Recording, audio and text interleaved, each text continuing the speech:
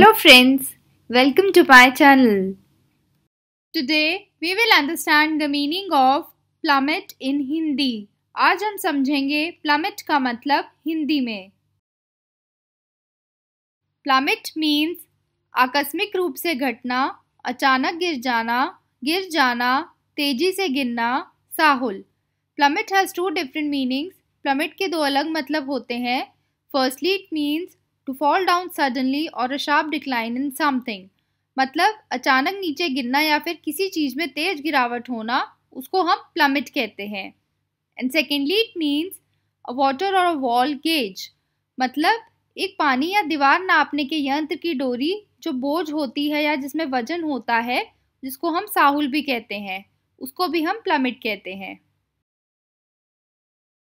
Now we will understand through examples अब हम इसे उदाहरण के द्वारा समझेंगे।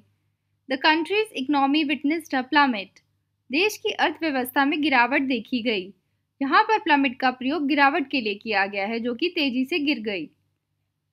The price of the car shall plummet next week गाड़ी की कीमत अगले हफ़्ते घटेगी, यानी कम हो जाएगी। ही फिक्स्ड द प्लामिट उसने साहुल को ठीक किया। यहाँ पर प्लामिट का प्रयोग साहुल के लिए किया गया है, जो कि पानी या दीवार नापने का यंत्र है।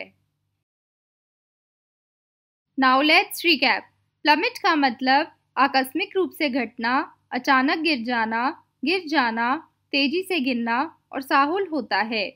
Plummet has two different meanings plummet के दो अलग मतलब होते हैं। Firstly it means to fall down suddenly or sharp decline in something मतलब अचानक नीचे गिरना या फिर किसी चीज़ में तेज गिरावट होना उसको हम प्लमिट कहते हैं.